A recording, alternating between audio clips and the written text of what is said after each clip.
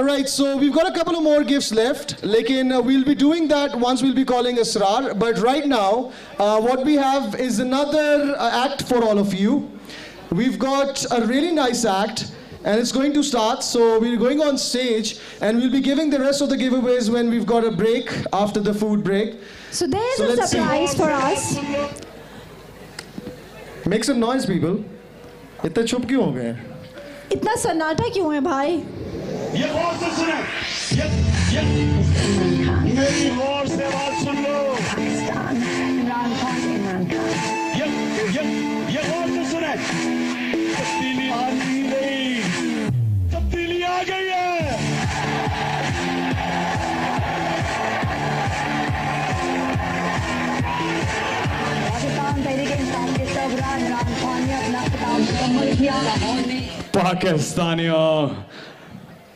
क्या हाल चाल है?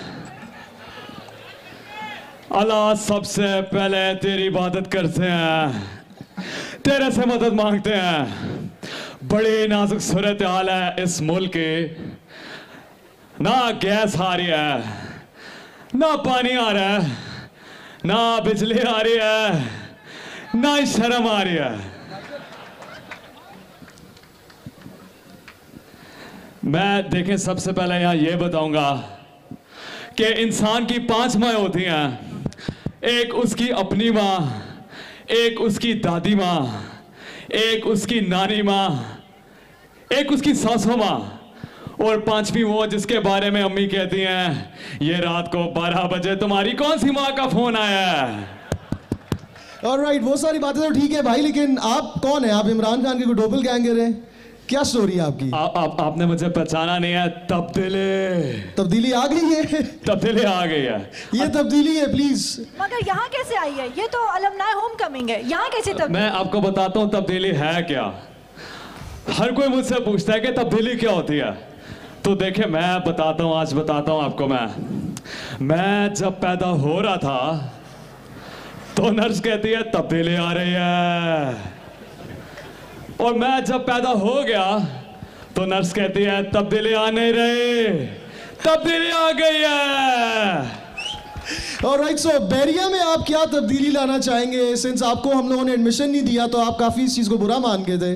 तो क्या तब्दीली आप यहाँ लाना चाहेंगे? देखिए मैं बैरिया में आया था और मुझे इन्होंने इंटरव्यू में निकाल दिया था। क्या वजह? वजह यह थी कि मुझे इंटरव्यू के अंदर एक सर थे उन्होंने क्वेश्चन पूछा। कि इमरान आपकी भाई के मूछे हैं तो आपकी क्यों नहीं है? मैंने कहा भाई अबू पे गया मैं अम्मी पे गया हूँ। इस वजह से दाखला नहीं मिला। और और एक और बात जो हम तब्दीली लेके आएँगे बहरिया में। सबसे पहले ये जो गार्ड्स बाहर खड़े हैं इनका एहतसाब होगा। जो कि लड़कियों को उनकी अदाओं पर अंदर आने देते हैं। और अगर लड़का गलती से आईडी कार्ड भूल आए तो उसके साथ करोड़पति खेलते हैं। इन सब का एहतसाब होगा। और दूसरा ये कि जब हम इस यूनिवर्सिटी में आएँगे दोबारा, क्या वजह है कि एक्सी में दस का समोसा है एनसी में पंद्रह का ये जो वेरिएशन है, इंशाल्लाह इसको भी दूर करेंगे। और इसके अलावा ड्रेस कोड का मसला। बेचारे लोगों को उनकी पसंद के कपड़े नहीं पहने देते। मैं अभी कुछ जब पहले मैं एडमिशन के लिए आया था मैं पोलो वाली शर्ट पहन के आया यहाँ घोड़ा बना हुआ था। तो डीडी सिक्योरिटी कहते हैं आप अंदर नहीं आ सकते। प्रिंटेड शर्ट्स नॉट अलाउड मैंने कहा घोड़ा घास खा के चला जाएगा। अच्छा इमरान खान सुना है कि तेईस मार्च पे आप नहीं गए थे तो उसके बारे में आप क्या कहना चाहेंगे? अभी परेड हुई थी तो तेईस मार्च के ऊपर मैं खुद नहीं गया जान के क्योंकि जब मैं वज़ीर बनूँगा मैं तब जाऊँगा। और ये नवाज़ शरीफ की चाल थी कि जब एफ़ सिक्सटीन त्यारे बनी गाला के ऊपर से गुजर रहे थे, वो जान के रेसें दे रहे थे मुझे तंग करने के लिए। लेकिन एक बात मुझे बड़ी अच्छी लगी तेईस मार्च की, कि हुकूमत ने यह फैसला किया है कि हर तेईस मार्च को सदर ममनून हुसैन को धूप लगवाई जाएगी। और इसके अलावा थोड़ा सा यहाँ बाकी शख्सियात की तरफ़ आते हैं।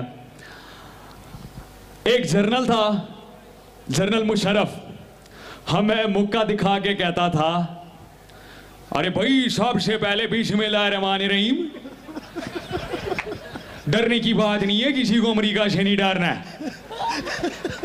अमेरिका क्या चीज़ है? मैं खुद अमेरिका का पेट हूँ। आप में से यहाँ किसी को पता है कि प्यार मोहब्बत क्या होती है? मुझे एक नर्स के साथ हो गई थी। नर्स की बहती बहती निगाह ने मुझे एक पेशेंट बना दिया। लेकिन जज साहब मुझे कहते हैं, आपको दिल लगी भूल जानी पड़ेगी। कोर्ट की राह में आकर तो देखो। मैंने भी जज साहब को कहा कि, जज साहब, आपको मेरी बातें जोन है, अच्छी लगेंगी। एक दफ़ा मार्शल लॉ लगा के तो देखो। इसके अलावा इसके अलावा एक हमारा ये जो आसिफ सरदार आसिफ सरदारी यहाँ मैं आपको बताऊँगा कि तीन आदमी ऐसे हैं जिनका हज नहीं हो सकता। एक आसिफ सरदारी निरी बीमारी दूसरा नवाज़ शरीफ जो एक करोड़ के बाल लगाएगा वो कभी टेंड नहीं कराएगा। तीसरा अल्ताफ हुसैन क्योंकि हज कभी फ़ोन पे नहीं होता।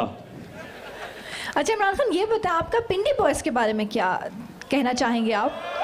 कुछ ऐसी चीज़ हम आपसे भी सुनना चाहेंगे आप वहाँ बहुत जाते हैं जलसे जलूस करते हैं तो इस कैसा एक्सपीरियंस होता है शेख रशीद से आपके क्या ताल्लुकात है? ये मैं बिल्कुल शेख रशीद पे आऊँगा और पिंडी बॉयज़ के लिए स्पेशली मैं ये कहूँगा कि मुझसे पूछता है कि मुझसे अक्सर लोग पूछते हैं, इमरान, आप कहाँ पैदा हुए थे? पाकिस्तान में या बरतानिया में? मैंने कहा, मैं वहाँ पैदा हुआ था, जहाँ सवाल नहीं पैदा होता। और पिंडी बॉयज़ कितने हैं यहाँ? पिंडी बॉयज़ कितने हैं? अच्छा जी, पिंडी बॉयज़ का स्पेशली फेवरेट शेख रशीद। शेख रशीद साहब क्या कहते हैं? और देखें जी, खदा की कसम है, सत्यानाश हो गया है इस यूनिवर्सिटी का। और देखें, बड़ी नाजुक सूरत हाल है। देखें, शेख जो है, वो उड़ते हुए कबूतर के पड़ भी गिन लेता।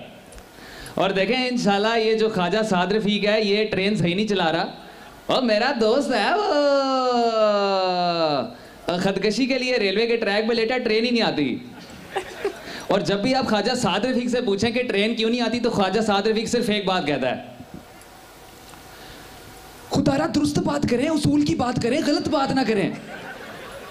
आप में यहाँ जितने भी आशिक मिजाज लोग बैठे हैं, किसी ने खुदकुशी करनी है मैंने स्पेशल ट्रेन चलाई उसके नीचे आके कर लें। अच्छा जी इसके अलावा एक एंकर है हमारे कामरान खान। वो इस तरह शो कंडक्ट करते हैं जैसे कोई आग लगी है। जे आप टीवी ऑन करें ट्यून करें साथ ही आ जाते हैं।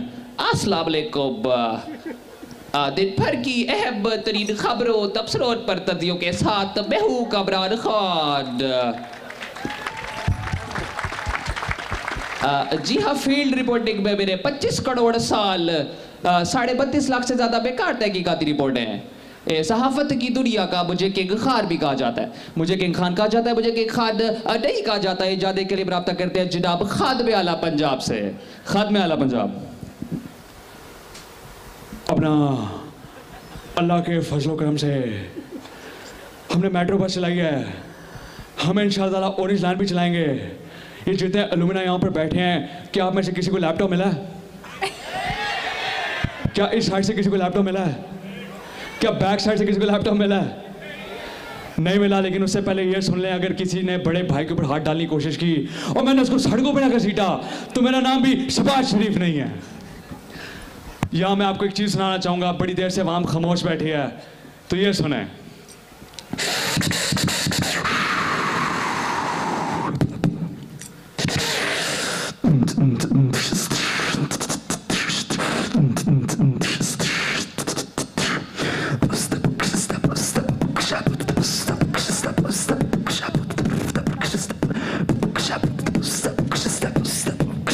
Dubstep.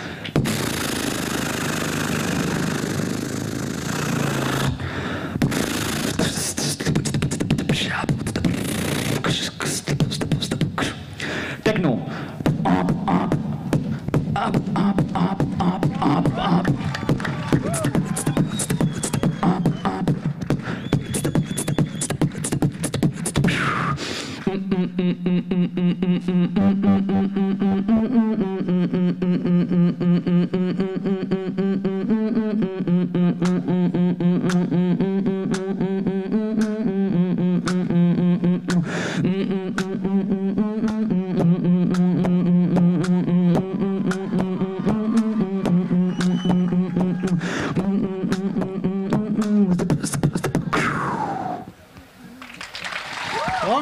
Put your hands together for Hamza Ashfaq. He's a talented artist. He's going to be doing some more mimicry for us now. And uh, अब बिलावल के बारे में क्या कहेंगे आप सबसे पहले सरदारी से स्टार्ट करूँगा सरदारी बिलावल को लेके आएँगे जब भी आप सरदारी से पूछें तो वो एक ही चीज़ कहते हैं अरे भाई पाकिस्तान एक सॉवरन कंट्री है जमहूरियत का हुसन यही है कि आप आए और आसिफ भाई को पैसे दें ताकि पाकिस्तान खप्पे भुट्टो खप्पे बिलावल खप्पे हर कोई मुझसे सवाल पे सवाल पूछता है।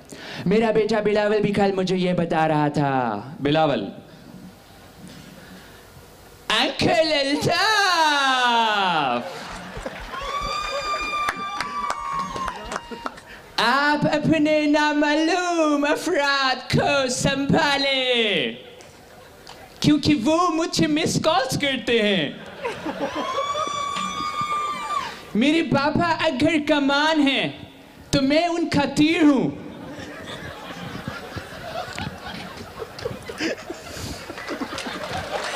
This calls for applause.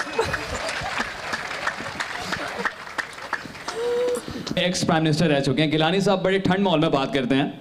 Gilani साहब से किसी ने पूछा आप ये महँगाई के ऊपर क्या बताएँगे? तो गिलानी साहब कहते हैं ये जहाँ तक ताल्लुक है महँगाई का।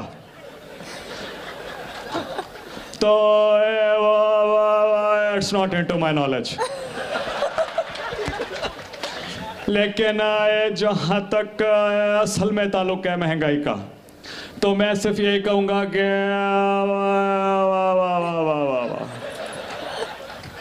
ओके जी, लता मंगेशकर के दो दिन सुर हैं। आपको सुनाऊँगा।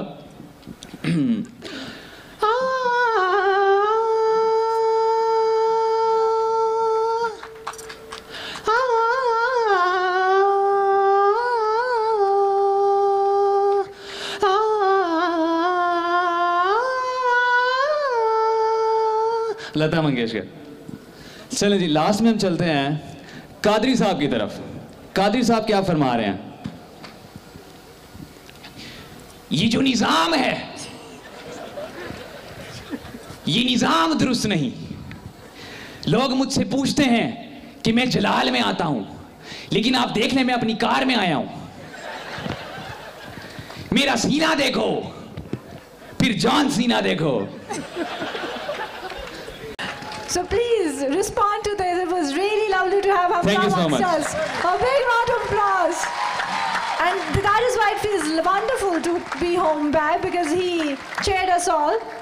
So once again, applause for Hamza. So moving on to the other All right, moving on, we've got another artist for all of you. He's uh, visually impaired. He studies in Beria University. He performs at Monal Restaurant, and he has an amazing voice. His name is Najmul Hassan, and he's a person who's, who's got a melodious voice. He's currently studying BS Honors in International Relations from Beria University, Islamabad. He's won a number of singing competitions all over Pakistan especially in 2011 when he was he won a competition on 14th August. He was also awarded by Yusuf Raza Gilani, who was then Prime Minister of Pakistan. And he's going to be currently performing right now for all of you. So put your hands together for Najmul Hassan, who's going to be performing for all of you right now.